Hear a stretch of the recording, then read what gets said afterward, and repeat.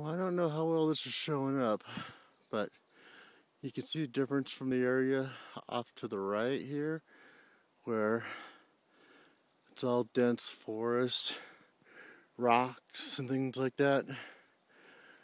And you pan over, and there's this whole patch of just dirt, mud, or whatever when it rains and it crosses over, and then there's forest again. There's a pile of dead stuff that guy piles up.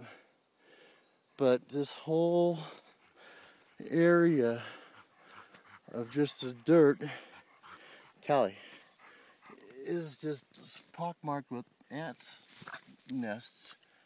There's another opening. Go along, here's another opening. They are everywhere on here.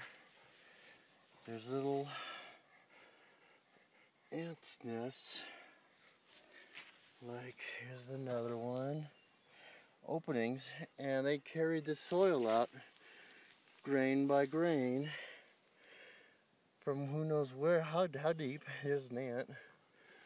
But when I first saw it, it was just a little spot up there. I'm gonna go up there